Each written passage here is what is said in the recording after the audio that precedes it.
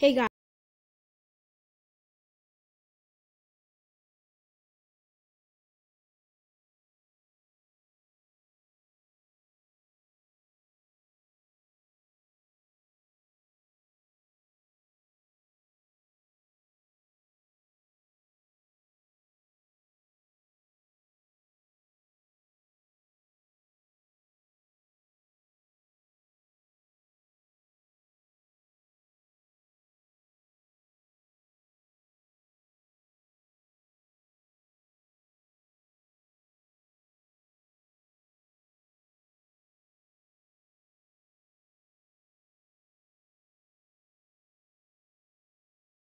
Download anything. Like, it's making me delete some things.